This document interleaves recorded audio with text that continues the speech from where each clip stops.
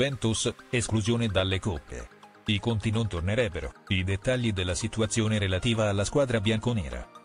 La Juventus, pur con la prospettiva di un ritorno in Champions League dopo un anno e mezzo di assenza, non vive un momento di tranquillità né in campo né sul fronte finanziario.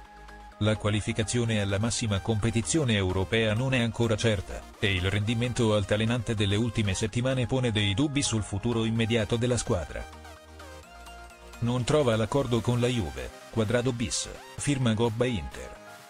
Nonostante un vantaggio di 8 punti dalla quinta e di 12 dalla sesta posizione in classifica, con l'Atalanta che ha una partita in meno, la Juventus non può permettersi di abbassare la guardia.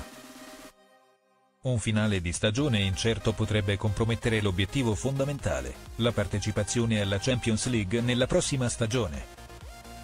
Infatti, l'assenza dalla Champions rappresenterebbe un duro colpo per le casse del club. Gli ultimi due anni hanno già visto la Juventus subire perdite significative, sia sul fronte sportivo che su quello economico. La mancata qualificazione alle competizioni europee ha comportato una perdita stimata di 115 milioni di euro, come ha sottolineato il giornalista Marco Bellinazzo intervenendo a Radio Radio.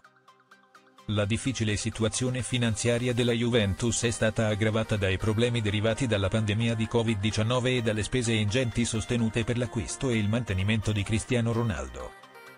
Negli ultimi quattro anni, Exor, la holding che controlla la Juventus, ha investito circa 900 milioni di euro nel club, una cifra senza precedenti nel calcio europeo. Tuttavia, nonostante le difficoltà finanziarie, la Juventus sembra intravedere una luce in fondo al tunnel grazie alla sua politica di investimento sui giovani talenti. Questa strategia, sebbene non possa risolvere tutti i problemi economici immediatamente, sta cominciando a dare i suoi frutti e a ridurre le perdite del club. La qualificazione alla Champions League è quindi cruciale non solo dal punto di vista sportivo, ma anche per garantire una stabilità finanziaria al club. Come sottolineato da Bellinazzo, la Juventus ha bisogno di tornare al più presto sulla scena europea per proteggere il proprio patrimonio e continuare sulla strada della ripresa economica.